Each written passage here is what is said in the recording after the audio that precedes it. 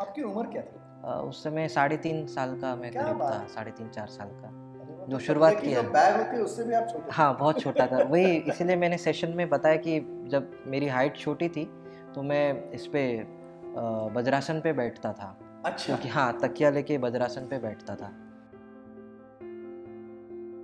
हमेशा गुरुजी कहते हैं कि कुछ आप सोच के बैठो। कभी कभी हाँ। ऐसा होता है कि कुछ समझ नहीं आता है।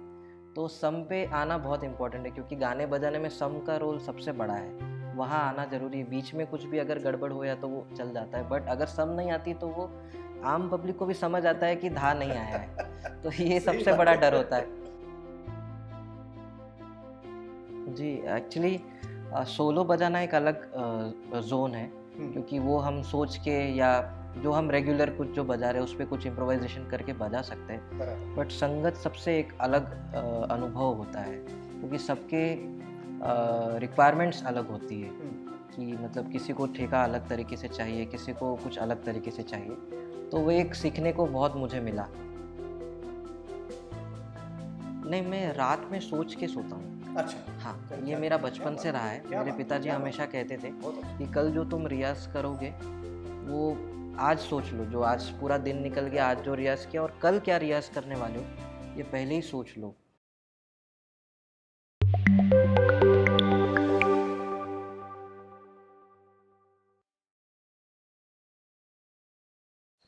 यशवंत जी, नमस्कार। लाइव डेमी में आपका स्वागत है और हमें बहुत आनंद है कि आपने तबले का कुछ लेसन्स वगैरह हमारे लिए बनाए हैं। मैं कोई आपके बारे में कोई थोड़ी चीज़ें जानना चाहता हूँ। मैंने सुना है आप मध्य प्रदेश का जो छत्तीसगढ़ हम्म। इलाका है छत्तीसगढ़ राज्य है वहीं से आए तो वहाँ तबले में आप कैसे आकर्षित हुए? तबला कैसे बजाए गाँव में तो छोटे गाँव में बड़े गाँव में वहीं तो ढोलक या पखवाज वो मृदंग ज़्यादा चलता है। जी। तबला कैसे आप आ, सबसे पहले सभी को नमस्कार। और लाइव डेमी का बहुत बहुत मैं शुक्रगुजार हूँ कि उन्होंने मुझे यहाँ पर अपना जो भी एक्सपीरियंस था वो शेयर करने का मौका दिया। तो जैसे कि जहाँ मैं पहले रहता था वो एक छोटा सा कोरबा करके गाँव है। ऐसे तो देखा जाए इंडस्ट्रियल एरिया है काफ़ी हम्म। बड़ा। बट बहुत ज़्यादा जो रेसिडेंशियल एरिया है बहुत कम है छोटे छोटे गाँव हैं वहाँ पर। तो वहाँ पे मैं रहता था तो मेरे पिताजी तबला बजाते थे वो मेरे दादाजी के साथ दादाजी कीर्तन करते थे। तो मंदिरों में उनके साथ बजाते थे तो मैं साथ में कभी कभी जाता था। तो जब भी वो घर पे ऐसे रियाज करते थे या कुछ बजाते थे तो मुझे वो देख के बहुत शौक हुआ कि मैं कुछ बजाऊं उसको। तो ऐसे ही जस्ट जैसे बच्चे खेलते हैं किसी साज के साथ या किसी खिलौने के साथ तो वैसे ही तबले के साथ मैं खेलने लगा था। पर उनको लगा कि शायद ये कुछ अच्छा करेगा, तबला बजाएगा ऐसे मेरे पिताजी को लगा तो उन्होंने मेरी मम्मी को तबला सिखाया क्योंकि हाँ अरे वाह क्या बात। क्योंकि अ, वो तो ऑफ़िस या ड्यूटी के लिए चले जाते थे तो उन्होंने बोला कि मतलब मेरी मम्मी को कहा कि तुम दिन भर घर पे रहती हो तो तुम थोड़ा देखो इसको। मैं तो मेरे को सिखाने के लिए उन्होंने उनको सिखाया। तो जो मेरे हाथ का रखावट है वो उनकी वजह से है। जो हाँ मेरी मम्मी की वजह से माँ की वजह से। आपकी उम्र क्या थी? उस समय साढ़े तीन साल का मैं करीब था साढ़े तीन चार साल का।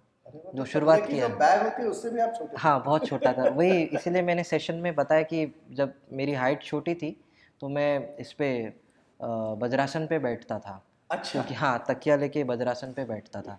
हाँ। क्योंकि हाइट ही नहीं वहाँ तक जाती थी इसलिए। बराबर। तो बस उसी तरह से फिर शुरुआत होती गई। वो उनको होमवर्क देते गए और वो मुझे करवाती थी। हम्म। फिर वो जब ड्यूटी से आते थे पिताजी तो मैं उनको सुनाता था। हम्म। तो ऐसे करते करते काफ़ी ठीक मैं तबला बजाने लगा। तो पापा मेरे जहाँ जिनसे सीख रहे थे उस समय पे श्री हेमंत सचदेवा जी तो उनके पास मुझे लेके गए। अच्छा। हाँ दो साल के बाद करीब मैं पाँच छः साल का था तब लेके गए। तो वहाँ जब लेके गए तो वो भी बोले कि ये तो बहुत छोटा है मतलब कैसे तुम ही सिखाओ। पर पिताजी ने बोला कि ये सब मुझे बाद में पता चला है कि ऐसा ऐसा हुआ। तो वो सुनने के बाद में बोले ठीक है मैं सिखाऊँगा ये अच्छा बजा रहा है। तो फिर उसके बाद मुझे पता चला कि कायदा क्या होता है हम्म, रेला क्या होता है या कौन सा घराना होता है जिसका ये कायदा होता है। तो पापा और मैं साथ में ही सीखते थे बट मेरा जो इम्प्रूवमेंट है वो होता चला गया। वो अपनी ड्यूटी की वजह से रियाज और ये सब नहीं होता था उनका। तो वैसे करते करते मैं थोड़ा अच्छा करने लगा।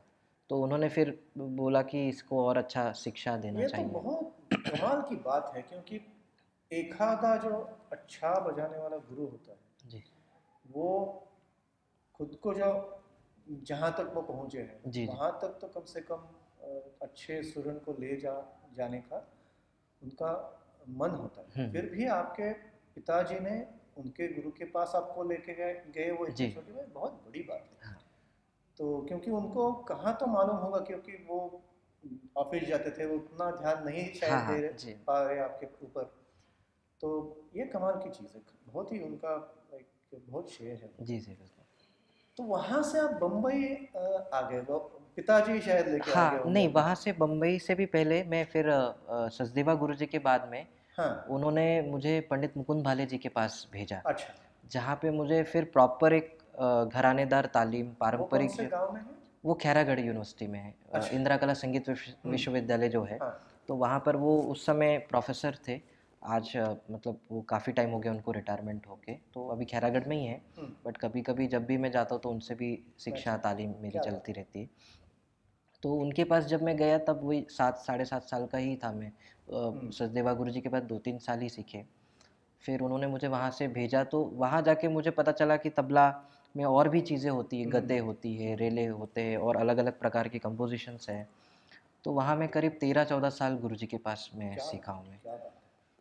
फिर वहाँ से फिर मेरी कॉलेज जब तक मैं बड़ा हुआ तब तक कॉलेज वगैरह भी अ, मतलब स्कूल मेरे चालू थे टेंथ नाइन्थ टेंथ में था। तो वहाँ से फिर मैं I T C S R A में भी गया। कलकत्ते हाँ कलकत्ते में।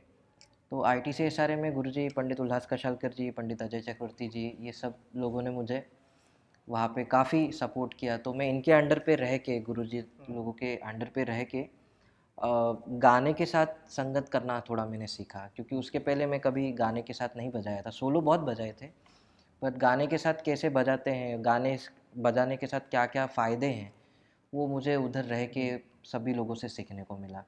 फिर वहाँ से मैं मुंबई शिफ्ट हुआ क्योंकि अच्छा। गुरुजी अ, पंडित अजय चक्रवर्ती जी और पंडित उल्लास कशालकर जी चाहते थे कि संगत के साथ साथ जो प्रॉपर तबले की तालीम है हम्म, वो होनी चाहिए। बराबर। उसमें कोई रुकावट ना हो। तो फिर मुझे पूछे वो कि तुमको किन से सीखने की इच्छा है? तो मुझे तो गुरु जी का तबला बहुत पसंद था हमेशा से। योगेश जी योगेश जी का योगेश शंकर जी का।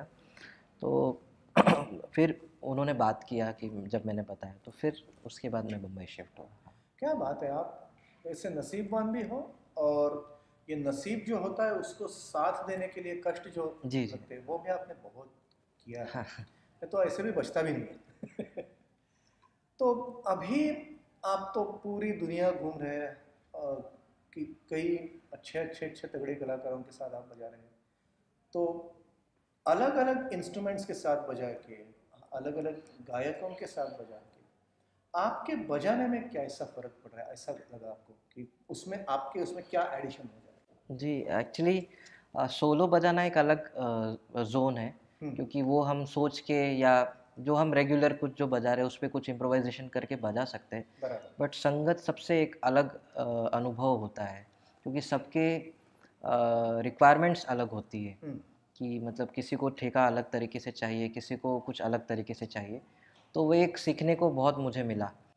तो पहली बार बजा रहा था तब थोड़ा सा टेंशन भी होता था डर भी लगता था। बट जैसे जैसे बजाता गया क्योंकि जितने भी लोगों के साथ मैंने बजाया या मैं संगत कर रहा हूँ तो उन्होंने सब मुझे कुछ ना कुछ बहुत कुछ सिखाया है हम्म, कि कब कैसे बजाना है जितने भी मेरे सब बड़े रहे हैं तो उन्होंने भी बहुत कुछ सिखाया तो मतलब ऐसे मेरे सोलो के जोन पे कुछ चेंजेस नहीं आया है हाँ, पर मेरे संगत में बहुत चेंजेस आया है। अच्छा। जी कि मैं कभी जहाँ बजाता नहीं था या मुझे जो चीज़ बजानी नहीं आती थी तो वो काफ़ी इम्प्रूवमेंट हुआ है हो भी रहा है धीरे धीरे जितना और करता जा रहा हूँ।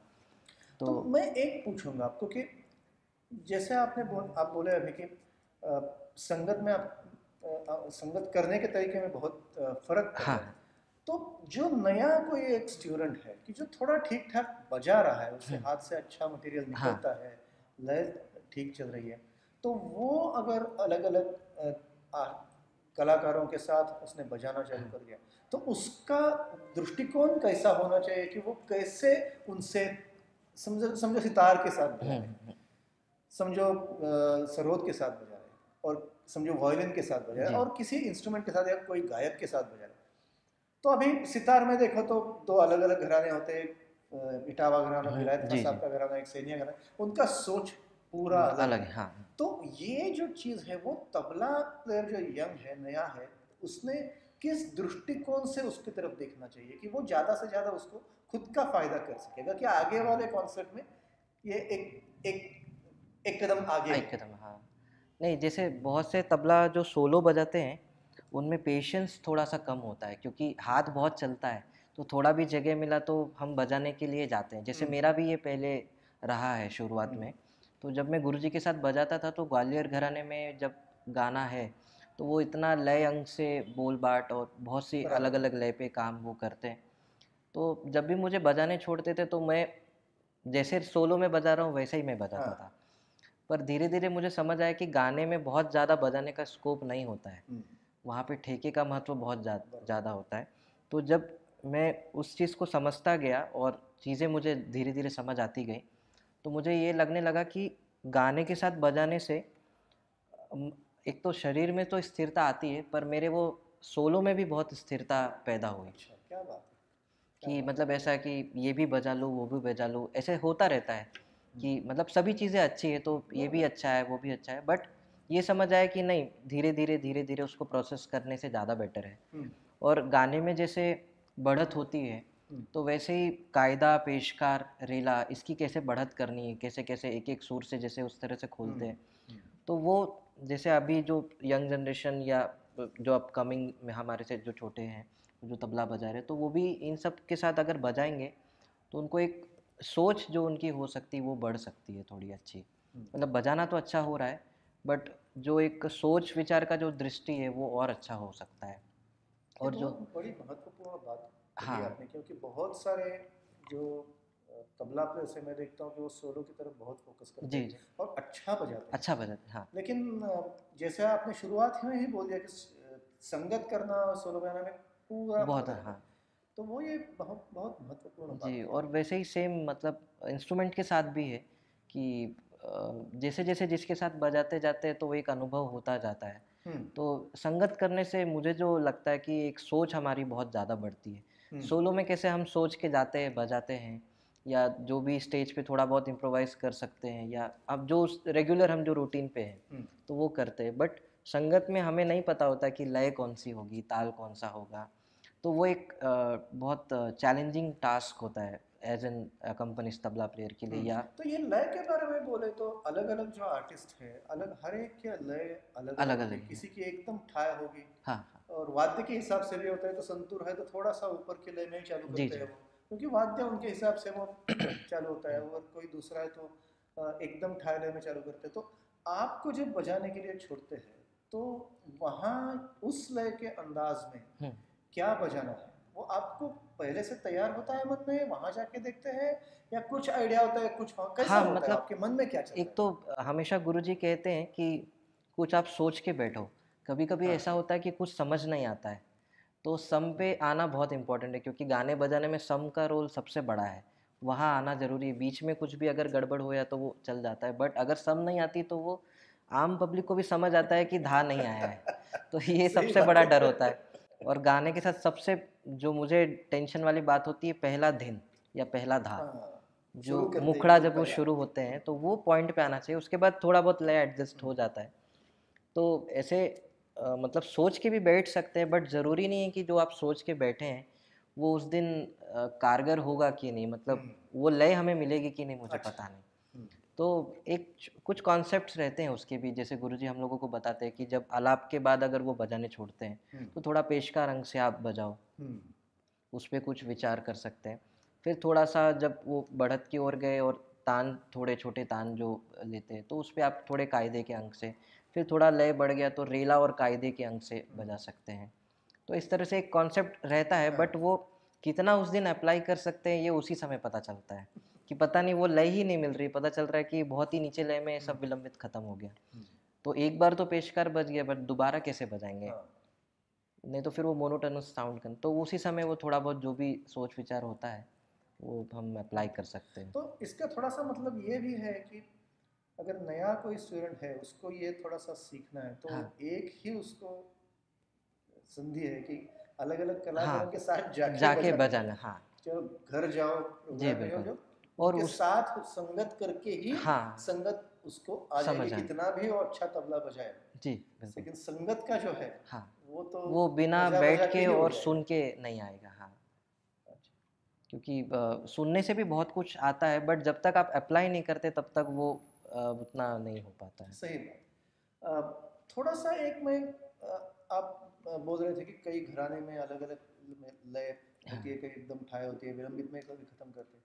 तो तबले में भी बहुत सारे घराने हैं जी तो आप दूसरे घराने का मटेरियल बजाते हैं या कैसे उसको अडाप्ट करते हैं क्या हाँ मैं कैसे चलता है? जैसे मैं खुद फरुखाबाद सीखा हूँ मैं बहुत हम्म। साल फरुखाबाद। अभी भी सीखता हूँ मैं और मुझे जो मेरा पर्सनल ऐसा जो एक वो, अ, सोचना है कि तबला तबला है हम्म, ऐसे घराने तो है- बने हैं बट आप किसी को अगर कह सकते तो एक वादन शैली के आधार पर आप किसी के हम्म। बोल सकते कि ये हाँ। बनारस बजा रहे या दिल्ली बजा रहे बट ऐसे देखा जाए तो सभी सब कुछ बजाते हैं।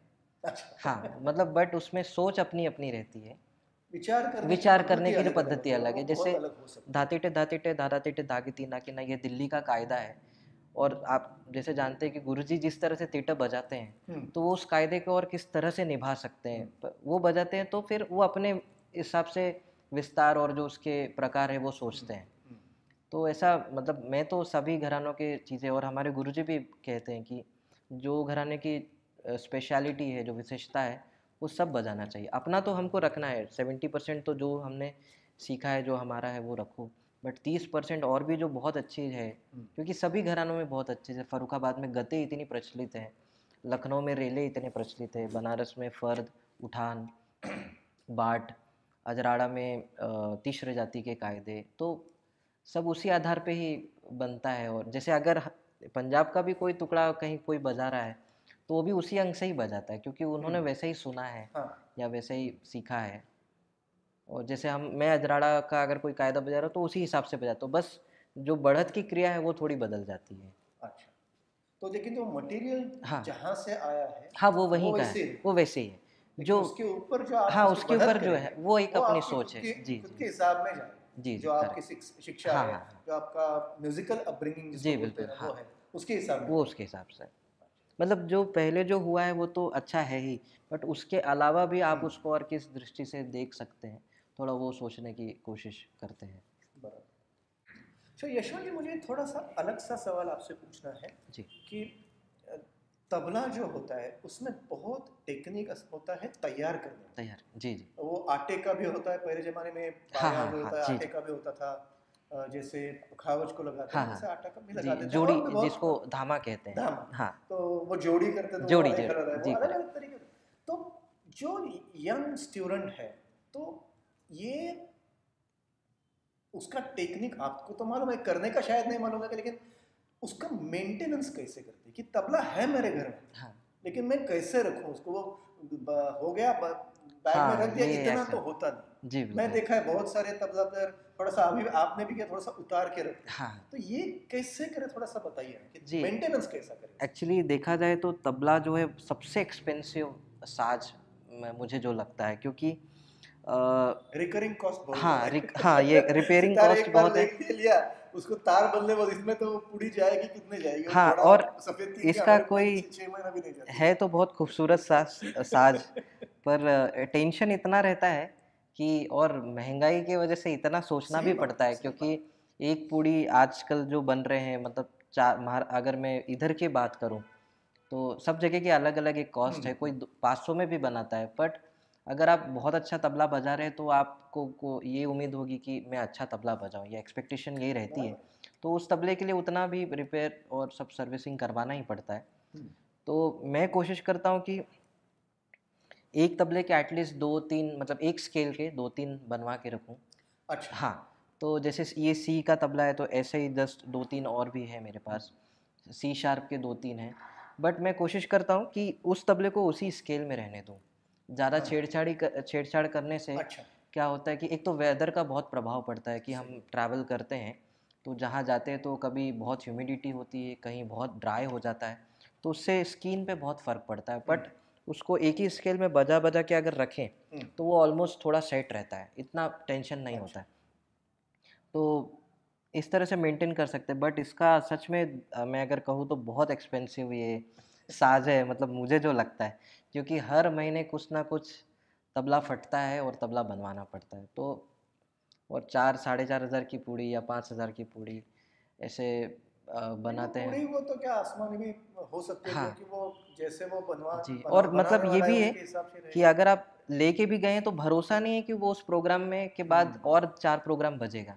क्या पता वो प्रोग्राम बजा और रात भर में चला गया। ऐसे मेरे साथ भी बहुत बार हुआ है कि मैं स्टेज पे बैठा हूँ तबला मिला के बैठा हूँ और इंस्ट्रूमेंटलिस्ट जो है वो आलाप जोड़ झाला सब होने के बाद जैसे ही शॉल खोल रहा है तो बीच से तबला फटा है। Oh. ऐसे रिसेंटली एक केस हुआ मेरे साथ भोपाल में ही। तो उससे मुझे समझ आया कि नहीं ये इसको मेंटेन करना। तो फिर मैंने सोचा कि अभी कैसा हो गया कि पहले के ज़माने में साढ़े पाँच इंची मुँह पे हाँ। काली एक हम्म, काली दो का तबला बन जाता था और लोग बजाते भी थे। हम्म, और पौने छः मतलब बहुत बड़ा मुँह हो गया पहले के ज़माने बराबर। पर अभी के जो मेकर्स हैं वो इतने एडवांस हो गए हैं उन्होंने इतना रिसर्च कर लिया है कि छः के मुँह पे भी काली दो बना देते हैं। काली दो? काली दो। हाँ टीप का तबला। या पौने छः पे काली दो सफ़ेद तीन बना देते हैं। तो इतना हाँ? वही है में ड्यूरेबिलिटी बहुत कम रहती है। मतलब कभी बहुत अच्छा टिक जाता है पर कभी ऐसा होता है कि कब फट जाएगा कब क्या होगा ये एकदम टेंशन रहता है। तो मैं कोशिश करता हूँ कि और मैं सभी अपने जो मेरे से बच्चे थोड़े जो सीखते हैं उनको भी मैं बोलता हूँ कि तबला इतना मेंटेन साज है उसको आप बजाने के बाद उसके जगह पे रखो जैसे आपका घर है हाँ आप जैसे कपड़ा पहनते हो नहाने के बाद आप कपड़ा पहनते हो या कहीं से आने के बाद तुरंत अपने आप को साफ़ सुथरा करते हो वैसे ये भी कि रियाज करने के बाद उसको उसके घर पे रखना चाहिए उस साज की क्योंकि इसके बिना इस इसके वजह से ही हमारा पेट और सब चीज़ चल रहा है। तो आप इससे प्यार नहीं करेंगे तो फिर सही है। किससे प्यार करेंगे? और यही है जो हमें सब चीज़ दे रहा है इसके वजह से हम सब जगह पे जाने जाते हैं। तो इसको तो इतने अच्छे से रखना चाहिए जितना आप अच्छे से नहीं रहते हैं। तो मैं तो कोशिश तो करता हूँ। विदेश में जाते हैं तब जी। क्या होता है? कैसे क्योंकि हाँ, मैं तो फिर- में भी टेम्परेचर है बिल्कुल, बहुत बिल्कुल। गर्म कहाँ भी कुछ भी हो टेम्परेचर वेदर तो ह्यूमिडिटी बहुत अलग होती है। तो कैसे कि वो आपका जो केस है वो कोई स्पेशल केस नहीं नहीं स्पेशल केस तो नहीं वही फाइबर केस ही है। पर जो मेरे हमेशा से मेकर रहे हैं भरत काकड़े जो जिनसे मैं तबला बनवाता हूँ तो वो उनको मैं हमेशा कह कर रखता हूँ कि भैया आप थोड़ा मुझे साइज़ छोटा दो। अच्छा। हाँ। ये जो छः इंची साइज़ है ये मत दो। मैं थोड़ा कॉम्प्रोमाइज़ कर हाँ। लूँगा बट ये दो महीना वहाँ पे ठीक से रहे। यहाँ वहाँ मेरा प्रोग्राम खत्म हो और वो दूसरे दिन फट जाए वो मुझे चलेगा। पर ऐसा ना हो कि बीच में हो जाए। मेरे फ़र्स्ट यूएस टूर में यही हुआ था कि मैं गया और ग्रीन रूम में तबला फट गया मेरा। अब सोलो बजाना है, मैं कैसे बजाऊँ? तो अच्छा हुआ गरीमत मेरे पास एक और तबला था तो मैंने कर लिया। बट कैसा है वो कि जो एक स्केल प्रॉपर रहता है, उसमें बजाने में एक आनंद अलग आता है। तो मैं हमेशा इसको कबर्ड में रखता हूँ शेल्फ बनाए और आप, मैं, आप कभी भी मेरे घर आएँगे तो आप देखेंगे, मैं दिन में कम से कम एक बार, दो बार चेक कर ही लेता हूँ। अच्छा। कि हाँ ये ये बहुत दिन से बजाया नहीं तो ये ठीक है कि नहीं ये ऐसा सब। ये इम्पोर्टेंट है उस पर ध्यान हाँ। रखना चाहिए जैसे आप बोले कि उस उसके ऊपर प्यार होना प्यार होना चाहिए हाँ प्यार है तो फिर सब अच्छा है। नहीं तो बजाए और फिर इधर रख दिए उधर रख दिए फिर हम चले गए और आके तो वो फिर साज की बेइज्जती हो गई उसकी इज़्ज़त नहीं सरस्वती फिर वो किसी को नहीं आती है। सही बात आप पैसे दे के तो दस तबले बनवा सकते हैं बट अगर आप उसकी इज़्ज़त नहीं कर रहे हैं। तो फिर वो भी आपकी इज़्ज़त नहीं करती है ये तो मुझे पता है। आप जब रियाज के लिए बैठते हैं तो आप कोई आज मैं क्या रियाज कर, करने वाला हूँ। चलो एक घंटा है दो घंटा है जो भी कुछ है आधा घंटा है चार घंटे जी तो आपके मन में कुछ होता है कि आज इस चीज़ पे रियाज करो इस इस इस ये सब चीज़ के रियाज करो? या कैसे चलता है आपके? रियाज के जो एक रूटीन हाँ। होता है कैसे चलता है मन में? नहीं मैं रात में सोच के सोता हूँ। अच्छा। हाँ कल ये मेरा बचपन से रहा है। मेरे पिताजी हमेशा कहते थे अच्छा। कि कल जो तुम रियाज करोगे वो आज सोच लो जो आज पूरा दिन निकल गया आज जो रियाज किया और कल क्या रियाज करने वाले हो ये पहले ही सोच लो हम्म, कि तुम कल क्या रियाज करोगे या क्या बजाओगे। तो हम्म। जैसे कभी कभी ऐसे होता है दिन होता है कि कभी रियाज करने की इच्छा नहीं हो रही है कभी बहुत थकान लग रही है या सुस्ती लग रही है तो मैं कोशिश करता हूँ कि मैं किसी का तबला सुनूं जो मुझे बहुत मेरे पसंदीदा हाँ। कलाकार हैं उनमें। तो उनको सुन के मैं बहुत चार्ज हो जाता हूँ। हम्म, तो अपने आप एक बार फिर बजाने की इच्छा होती है। कभी कभी ऐसा भी होता है ब्लैंक हो जाता हूँ मैं कि मैं रियाज क्या करूँ? कि रियाज क्या करना चाहिए? तो मैं फिर कुछ ऐसे मेरे जो दोस्त यार हैं या जो अच्छा बजाते हैं उनको पूछ बोलता हूँ कि मुझे कुछ ऐसे फ्रेजेस आप दो हाँ, जिसका मैं रियाज कर सकूँ। तो वो भी हेल्प करते हैं। पर मोस्टली मैं सुनता हूँ। हाँ पुराने तबले फिर से सुनता हूँ या किसी रैंडम तबला सोलो लिख के जो जिसका सामने वीडियो आ जाए तो उनमें से कुछ चीज़ें हर दिन कुछ ना कुछ नया निकालने की कोशिश करता रहता हूँ मैं। किन किन किन को सुनते हैं आप? ऐसे तो सभी को सुनता हूँ मैं सभी जो भी है सबको पुराने लोगों का तबला बहुत ज़्यादा मैं सुनता हूँ। हाँ जैसे उस्ताद हबीबुद्दीन खान साहब हैं उस्ताद करामतुल्ला खान साहब उस्ताद अहमद जान तिरकवा खान साहब अब्बा जी उस्ताद अल्लाह रखा खान साहब और शामदा प्रसाद जी। तो इन सबको सुनने में क्योंकि मुझे जो लगता है कि आ, जो वो लोग बजाते थे उनका जो नेचुरल टोन था तबले हाँ, का मतलब अभी के माइक्रोफोन का बहुत सेंसिटिव है माइक्रोफोन अब तबले भी बहुत सेंसिटिव और स्पेशल हो गए। पर उस ज़माने में कैसे तबला हुआ करते थे मतलब उसी रियाज के तबले में वो ऐसे इस तरह से टोन निकलना ऐसी तैयारी से बजाना तो मैं थोड़ा उसके पीछे बहुत ज़्यादा प्रभावित रहता हूँ और वो खोजने की कोशिश करता हूँ। फिर उनके बाद उस्ताद जाकिर हुसैन जी गुरु जी पंडित योगेश शमसी जी पंडित आनंदो चैटर्जी जी पंडित स्वपन चौधरी जी किशन और महाराज जी किशन महाराज जी जी क्योंकि उनका मध्य लय का जो सब है हाँ, कि इतना कम लय में भी इतने हाँ। लयकारी करना ये बहुत मुश्किल काम है महाराज जी का और सब। तो शांता प्रसाद जी का नादिंदा से नहीं पंडित अनोखीलाल मिश्रा जी। हाँ? पंडित अनोखीलाल अनो- मिश्रा जी। हाँ जी। उनके नाम हाँ बहुत इंस्पिरेशन मुझे मिला बहुत उनका कोई खास जी जी बिल्कुल बिल्कुल। घराना ही ऐसे अच्छा आप डांस पे जब डांस के साथ बजाते हाँ हैं तो उसमें तो पूरा ही अलग सोच है। जी जी। तो बहुत सारी चीज़ें याद करके भी जी बजानी पड़ती बजाना हाँ, पड़ता हाँ, है हाँ। क्योंकि उनका वो सेट कुछ होता है उनका। तो ये याद करने के लिए आपका क्या अ, कैसे करते हैं? याद क्या तो बहुत बार बजा के होते हैं या हाँ। टेक्निक है याद करने का कि ये रिमेम्बर कैसे करें? डांस के बोल या ऐसे प्रॉपर बाय कौन कौन से भी जी हाँ रियाज है। नहीं मैं याद करके हाँ। करने बजाने की चीज़ जो होती है। जी। तो जैसे मैंने अभी सेशन में ही बताया कि आप कायदा बजाने के बाद जब पहला विस्तार बजाते हैं हाँ। तो पहला विस्तार याद होने के बाद आप फिर से कायदा बजाइए और फिर हम्म। से पहला पलटा बजाइए। अच्छा। उसके बाद फिर से दूसरे पलटे की तैयारी कीजिए उसको याद कीजिए। जब वो हो जाए तो फिर कायदा बजाइए हम्म। फिर पहला पलटा और फिर दूसरा विस्तार। अच्छा। तो इससे वो रिविजन होता रहता है नहीं तो दसवें पलटे तक हम पहुँच तो गए पर जैसे ही तीसरा पलटा बोला तो भूल जाते हैं। तो इसके माध्यम से कंसिस्टेंसी बनी रहती है हाँ। और डांस का जो बोल है वो याद करने में बहुत ज़्यादा तकलीफ़ मुझे इसलिए नहीं हुई क्योंकि मैं पहले से वो बोल फॉलो करता आया मतलब सुनने में। गुरु जी के संगत बहुत बार सुने मेरे बहुत से गुरु भाई हैं बहुत अच्छा डांस के साथ बजाते हैं तो उनको सुना। तो और तबले की भाषा में कन्वर्ट करने में टाइम लगता है वो एक्चुअली अच्छा। हाँ थोड़ा सा हम्म। बहुत ज़्यादा नहीं बट तक्का थूँगा या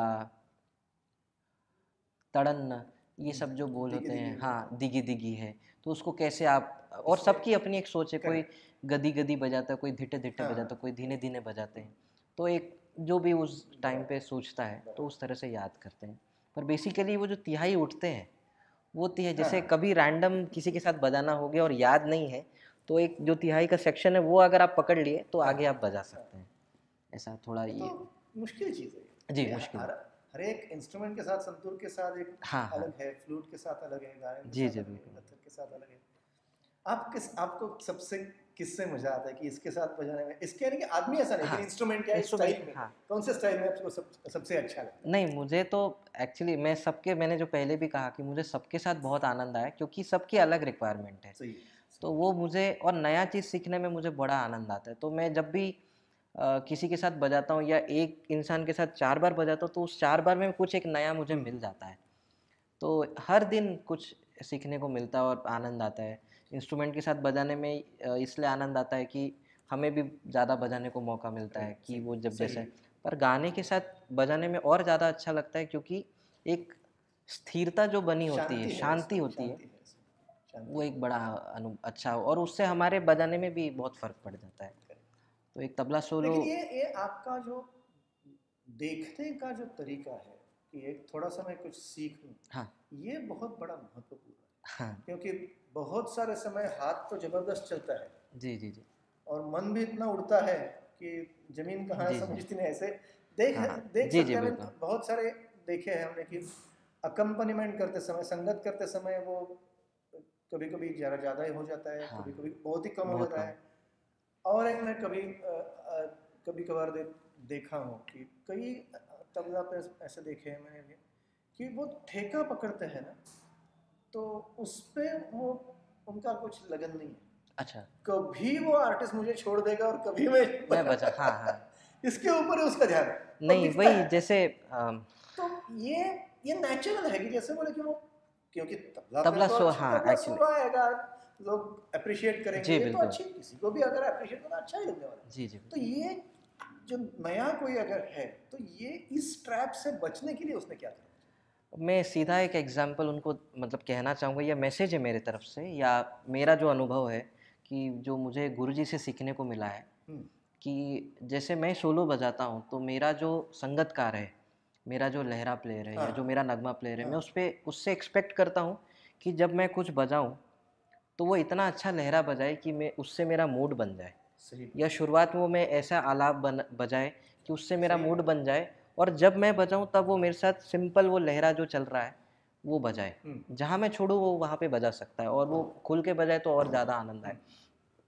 तो उसी तरह से एक गाना जो गाते हैं वोकलिस्ट होते हैं या इंस्ट्रूमेंटलिस्ट होते हैं वो भी यही एक्सपेक्ट करते हैं कि जब वो गाए तब हम इतना अच्छा उनको ठेका दें कि वो ठेके से उनका मूड बन जाए। हम्म, तो उनका एक एक्सपेक्टेशन वो होता है। हाँ कभी कभार साउंड का प्रॉब्लम है तो वो तो टेक्निकल इशू है उस पर कुछ कह नहीं सकते कर नहीं सकते। बट जब आप बजा रहे हैं तो आप हंड्रेड परसेंट निभाइए ये समझ के निभाइए कि ये मेरा प्रोग्राम है। हम्म, हम्म, तो उससे उनको भी बहुत आनंद आएगा गाने बजाने में। तो उनकी भी एक्सपेक्टेशन वही होती है। जैसे आपने कहा कि ठेका बजाते वक्त ध्यान नहीं है पर जैसे ही बजाने को छोड़ा तो वो वो थोड़ा सा एक अलग ये हो जाता है। बट मैं कोशिश करता हूँ कि जैसे मैं अपने लिए लहरा प्लेयर की एक्सपेक्टेशन बना के रखा है तो वैसे ही मैं सामने वाले के लिए रहूँ कि जब वो कुछ काम करे तब मैं सीधा ठेका बजाऊँ और उसको सब में बकायदा आने दो क्योंकि इतना सब तान और तिहाई सोच के बजा के वो आ रहे हैं और सब में ना आए और उनको एक आनंद की प्राप्ति ना हो तो फिर कोई मतलब नहीं। बहुत बार ऐसे है। बहुत बार ऐसा होता है कि तीसरे पल्ले में तबला प्लेयर्स ज्वाइन कर जाते हैं। और कुछ ऐसा हो गया कि वो सम नहीं आई हम्म, तो वो भी बहुत मुश्किल हो जाता है। तो मैं जैसे तिहाई हम कोशिश करते हैं कि as an tabla solo artist मैं ऐसे कोशिश करता हूँ कि जब मैं तिहाई बजाऊँ तो सम पे आऊँ तो वो ऐसा सम दिखे हम्म। सामने वालों को कि वो समझ आए कि हाँ। अभी तिहाई आया। तो वैसे उनकी भी एक सोच होती है। क्या बात और अगर मैं उस पर कुछ घुस जाऊँ या मैं उसमें कुछ बजा हाँ छोटी मोटी तिहाई ठीक है बट एक जो बड़ा रूप लेके आते हैं तो उसमें उनको जो एक आनंद की प्राप्ति होनी चाहिए वो बहुत ज़रूरी है और सम गाने बजाने में सम सम जो होता है ना इसका इम्पोर्टेंस बहुत ज़्यादा है हाँ, पूरे ऑडिटोरियम में जी। मैंने जो देखा है ना कि पूरे ऑडिटोरियम में एक हज़ार लोग हैं कभी पाँच हज़ार है कभी पाँच सौ है कभी तीस जो भी कोई वहाँ है वो डोर कीपर खड़ा है वो विंग में कोई चाय वाला खड़ा है वो सब की सम एक होती है। हाँ। मन में किसी के भी विचार चले। पर वो जगह जैसे आते हैं सब की सम- सम। एक संगीत का माहौल ऐसा जाता है हाँ हाँ। कि कैसा भी जाए उसके मन में वो सम बराबर है। जब वही अगर हिल गई तो तो सब सब सब गड़बड़ हो- गड़बड़ हो जाती है। तो बहुत बड़ा बड़ा- हाँ। बड़ा विचार है आपका। जी तो बस और जब बजाने भी छोड़े तो बहुत बड़ा नहीं बजाना चाहिए। हम्म, मतलब मैं ऐसा सोचना है कि जो भाषा या जो उन्होंने सब्जेक्ट निकाला है हाँ। उस उससे मिलता जुलता एक पाँच सात आवर्तन अगर वो इशारा कर रहे तो वो मतलब बहुत अच्छी बात है कि आप और बजाइए। बट जब वो थोड़ा सा करे तो थोड़ा फिर आप बजाइए। फिर एट लास्ट उनका ही कॉन्सेप्ट है तो आप उनको संगतकार के रूप में अगर आप बजाएँगे तो उनका ही प्रोग्राम बहुत ऊपर आएगा। तो ये एज एन अकम्पनिस्ट सोचना चाहिए तबला प्लेयर्स या हम्म, जो हम्म। लोग सब तबला अपकमिंग जो हैं जो बड़े हैं उनको तो सभी पता है। जो मेरे से उम्र में छोटे हैं पर बजाने में बहुत अच्छा बजा रहे हैं तो वो तो सब समझते हैं।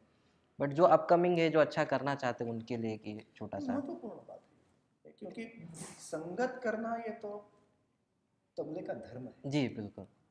और जैसा जो फॉर्म है वैसा उस पर आप बजाएँ तो बहुत हाँ। अच्छा होता है कि सितार के साथ में आप जैसे सितार के साथ बजता है वैसा बजाए तो बहुत आनंद है। जैसे गाने के साथ बजता है तो वैसा बजाए तो बहुत आनंद है। तो हर जोन को निभाने आए तो बहुत ज़्यादा अच्छा है। ऐसे परफेक्ट तो कोई नहीं हो सकता। ऐसे परफेक्शन तो कभी किसी के हाथ में नहीं रहा है। बट कोशिश करेंगे तो सब हो सकता है। एक ये लाइव डेमी के लिए हमारे जो विद्यार्थी जन हैं उनके लिए कुछ ऐसी चीज़ बताए कि वो उनको करेक्ट दिशा में सही दिशा में पकड़ के रखे जी। और क्योंकि कभी कभी क्या होता है हम भी सीख रहे थे आप भी सीख रहे हैं सब सीख रहे हैं सीख रहे थे सीखेंगे। शुरुआत में क्या होता है कि उतनी पकड़ नहीं होती। हम्म, इंटरेस्ट तो होता है लेकिन अभ्यास करना है कोई आसान बात आसान है एक तिटा तिटा बजाने के लिए आठ बरस भी लग सकते हैं आठ महीने भी लग सकते सही बात। हैं और तो ऐसा किया तो इस पर भी बजेगा लेकिन वहाँ बजने के लिए मुश्किल मुश्किल हाँ। तो ये दिशा पकड़ के कैसे चले विद्यार्थी? कोई भी उम्र का हो हाँ। वो दिशा पकड़ के कैसे चले? कुछ बताइए। विद्यार्थियों के लिए। जो मैं मैं अपना अनुभव शेयर करूँगा कि जब मुझे मैंने सोचा था कि मुझे तबला बजाना है तो मैं उस दिशा पे इतना फोकस्ड हो गया था हम्म। कि मुझे इसके अलावा कुछ दिखता ही नहीं था कि और लेकिन ये तो स्टोरी नहीं जी हाँ। और मेरे अंदर हमेशा से गुरु के जो शब्द रहे हैं वो बहुत इम्पोर्टेंस रख रखा है मैंने अपनी लाइफ में कि उन्होंने कह दिया कि ये नहीं करना है तो ये नहीं करना है।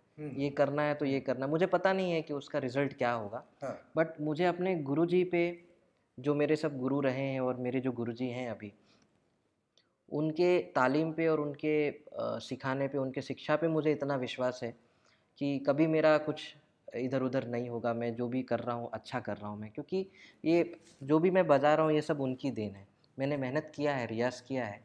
बट उनके मार्गदर्शन से दर्शन के बिना ये पॉसिबल ही नहीं थे हाँ।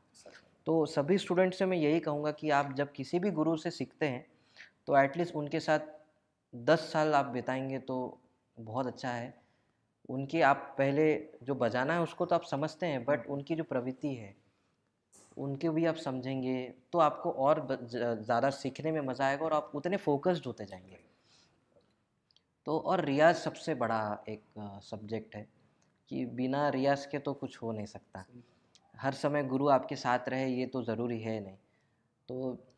पॉसिबल ही नहीं। आज के समय में तो बिल्कुल भी नहीं क्योंकि उनको भी अपना घर बार देखना है उनको अपने कार्यक्रम देखने हैं बहुत सी चीज़ें हैं उसी तरह आपको भी देखना है।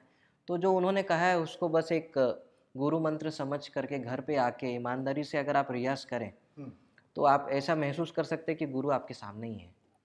और अगर आप गलत तरीके से बजा रहे तो आप उनको धोखा नहीं दे रहे हैं समाज को नहीं अपने आप को ही धोखा दे रहे हैं. तो ये सबसे बेस्ट मैं कहूँगा कि आप जब भी रियाज करते हैं थोड़ा भी कुछ भी एक आध शब्द लेके रियाज कर रहे हैं या कोई कायदा लेके या कोई बड़ा शब्द समूह लेके कर रहे हैं तो ईमानदारी से करें और उसको थोड़ा सा समझ के करें। हम्म, हम्म, टाइम पास करना मतलब एक सिर्फ़ हाथ चला रहे हैं या कुछ कर रहे हैं और टाइम पास रियाज जैसे मैंने भी किया है मैं झूठ नहीं बोलना चाहूँगा जब मुझे रियाज करने का मन नहीं कर रहा है तो टीवी देख रहा हूँ और मैं हाथ चल तो वो रियाज रियाज नहीं होता है। हम्म, रियाज वो होता है जो कि आप उसमें क्या करना है वो सोच के बैठे हैं और जो क्या नहीं हुआ है वो कर रहे हैं तो बहुत इम्पोर्टेंट है। जो हो रहा है वो तो आप बजाना ही है आपको। वो तो और अच्छा समय के साथ साथ होता जाएगा। बट जो नहीं हुआ है उसको अगर आप ज़्यादा रियाज करेंगे तो एक आपकी सोच भी बढ़ती है उसमें और अलग अलग चीज़ें भी बचते जाती है सोचती है ऐसा। तो इस तरह से अपने आप को आप फोकस्ड कर सकते हैं किसी चीज़ और सोच के जैसे आप पहले पूछे कि आप रियाज के लिए कैसे तो आप रात में सोच के सोइए कि मुझे कल कल क्या बजाना है। बहुत अच्छी तो वो जो जो जब नींद होती है और जो सुबह का जो रियाज होता है मैं बस एक ही और एक चीज़ ऐड करना चाहूँगा कि जो रियाज का समय है वो तो कभी भी आप कर सकते हैं बट जो ब्रह्म मुहूर्त का रियाज होता है हम्म, सुबह एक चार से छः बजे का जो एक समय है हम्म, ये बहुत ज़्यादा एक अलग समय होता है जहाँ पे देवी है। हाँ देवी देवताओं का एक समय है वास उनका होता है आशीर्वाद मिलता है। तो वो समय पे अगर आप कोई भी चीज़ करते हैं तो वो ज़रूर उसकी सिद्धि प्राप्त होती है। पर कभी भी कर सकते हैं रियाज का एक समय कुछ भी नहीं है। बट मुझे जो मैंने किया है मैं सुबह ही बहुत ज़्यादा रियाज मैंने किया। रात में मेरे से कभी रियाज नहीं हुआ। अच्छा। हाँ मुझे अगर कोई कहता भी है तो मैं साथ में बजाता हूँ। हाँ। बट अपने से बहुत कम बार मैं रियाज करने बैठा हूँ। तो मेरा मोस्टली रियाज चार बजे के बाद तो हर एक का अलग अलग अलग अलग हाँ जी। कभी किसी को टाइम नहीं होगा। हाँ जी हाँ। हाँ तो उसके कोई सीमा नहीं है बट एक जो मेरा एक्सपीरियंस है कि वो मैंने सुबह किया तो उस तरह से भी कर सकते हैं आप। बहुत बहुत thank you thank you so much और इतनी अच्छी बात है कि अच्छा गाइडेंस किया हमारे विद्यार्थी कोशिश। लाइट एमी की तरफ़ से आपको बहुत बहुत thank you thank you so much